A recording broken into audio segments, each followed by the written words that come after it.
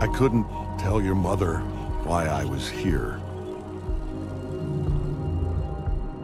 But that time's come to an end. And now, we need to get Earth ready to join the Viltrum Empire. But we can help them. We can stop wars, eliminate hunger, give them medical technology centuries ahead of what they have now. I do love your mother, but she's more like a, a pet to me. A pet? This is the only way, Mark. Don't touch me. Calm down. I will not calm down. This is insane.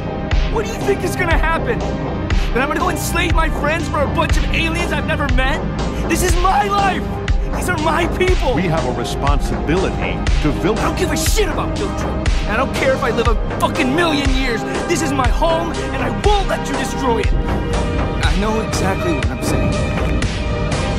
Why did you make me do this?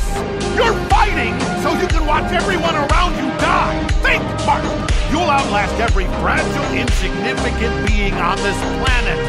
You'll live to see this world crumble to dust and blow away.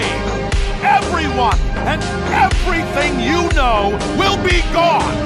What will you have after 500 years? I'll give you that. Have you.